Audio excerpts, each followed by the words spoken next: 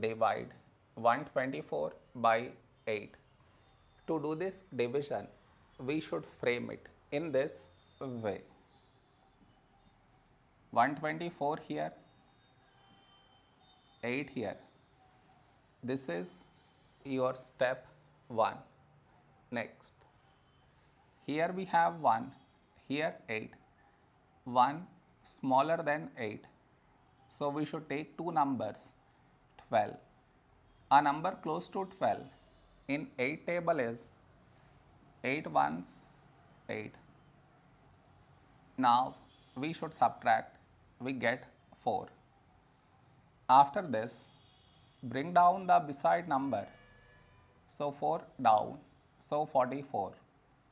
A number close to 44 in 8 table is 8 fives 40. Now we subtract, we get 4.